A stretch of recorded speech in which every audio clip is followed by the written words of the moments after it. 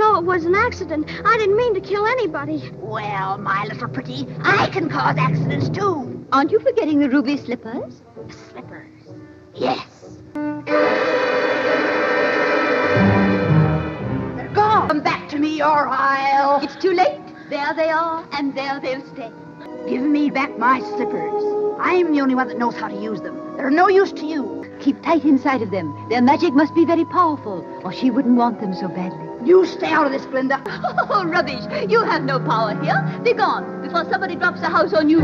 Made rather a bad enemy of the Wicked Witch of the West.